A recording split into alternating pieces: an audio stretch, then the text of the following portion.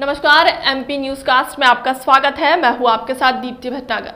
आइए शुरुआत करते हैं दिन भर की कुछ खास खबरों के साथ। मेहर आशा कार्यकर्ताओं द्वारा भूख हड़ताल किए जाने पर कई महिला आशा कार्यकर्ताओं की तबीयत खराब हुई, जिनकी सुध लेने कोई नहीं पहुँचा। हताश होकर आशा कार्यकर्ताओं ने यूथ कांग्रेस के प्रदेश सचिव व सीधी ज़िले के प्रभारी श्री ब्रजेंद्र शर्मा, छोटू भैया से फ़ोन में चर्चा की, जिनकी मदद के लिए ब्रजेंद्र शर्मा, छोटू भैया व मेहर युवा कांग्रेस विधानसभा अध्यक्ष सौरभ शर्मा, लल्ला धरना प्रदर्शन स्थल पर पहुँचे और आशा कार्यकर्ताओं के समर्थन पर मैदान में उतरे और उनके साथ हो अत्याचार को लेकर के सरकार को घेरा और प्रशासनिक अधिकारियों से रूबरू हुए बीमार आशा कार्यकर्ता अस्पताल के चौखट पर पड़ी थी लेकिन उनकी कोई सुध लेने को तैयार नहीं था। ब्रजेंद्र शर्मा, छोटू भैया के धरना स्थल पर पहुँचते ही प्रशासनिक अधिकारियों के कान खड़े हुए और आनंद फानन में सभी आशा कार्यकर्ताओं को अस्पताल में भर्ती कराकर उपचार शुरू किया गया। तारांकन उनके इस प्रयास को लेकर के आशा कार्यकर्ताओं ने उन्हें धन्यवाद ज्ञापित करते हुए आभार जताया। जिला सतना से वरिष्ठ पत्रकार सुधाकर त्रिपाठी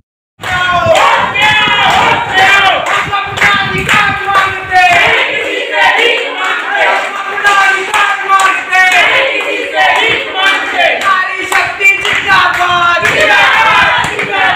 नारी शक्ति जिंदाबाद हमारी मांगे पूरी करो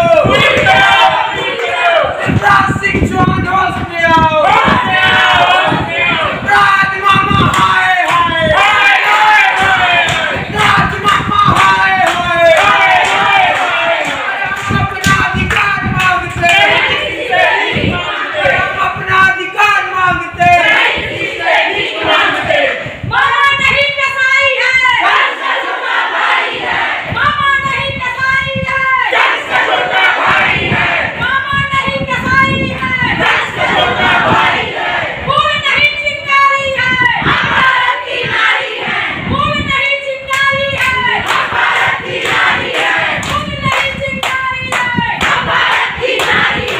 अभी करो बर्दाश्त करो अभी करो अर्जेंट करो अभी करो अर्जेंट करो एक दो तीन चार एक दो तीन चार एक दो तीन चार आज आशा कार्यकर्ता यहाँ पे बैठी हुई हैं धरने पे, आंदोलन में। और जो कोरोना काल में देवदूत बन के सब लोगों की इन्होंने सेवा की और पूरे तन मन से सेवा की, उनकी स्थिति आज ऐसी है कि ये सात सात लोग बीमार यहाँ पे पड़े हुए हैं। इनको देखने वाला कोई नहीं है, उपचार करने वाला कोई नहीं है। ये लोग सिर्फ़ अपनी मांग के लिए बैठे हैं, कोई नाजायज़ मांग नहीं है। इन्होंने पूरे कोरोना काल में इतनी मेहनत, इतनी मुश्किल से लोगों की मदद की, लोगों की सेवाएँ की, निस्वार्थ सेवा की। उनका 2000 उनका कहना कि 2000 में हमारा घर नहीं चल पा रहा है। अपना वेतन बढ़ाने के लिए परमानेंट करने के लिए एकदम जायज़ मांग है। इसके बावजूद भी सरकार के कानून जू नहीं रेंग रही है। सरकार वापस से चाह रही है कि इन लोगों को कैसे भी करके धरना खत्म हो जाए। ठीक है ये उठ जाएँ। यहाँ तक कि शासन प्रशासन कोई भी इनकी मदद नहीं कर रहा है। और डॉक्टर से अगर बात हो रही है कि यहाँ पे आके जहाँ पे धरना स्थल है यहाँ पे उपचार करें तो उपचार भी करने के लिए तैयार नहीं है और बोल रहे हैं कि अस्पताल जाएँ। वहाँ पे अगर उपचार होता है फिर वापस से धरने पे आएँगे तो धरने पे नहीं आ, आने दिया जाएगा।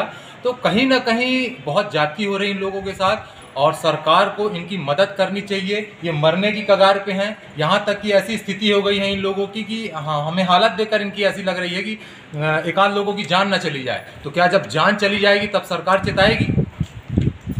हम यूथ कांग्रेस के माध्यम से हम निवेदन करना चाहते हैं यहाँ की सरकार से, कलेक्टर साहब से कि इनकी मदद की जाए, इनका उपचार यहीं धरना स्थल पे किया जाए। नहीं तो युवक कांग्रेस के माध्यम से उग्र आंदोलन किया जाएगा जिसकी संपूर्ण जवाबदारी सरकार की होगी शासन प्रशासन।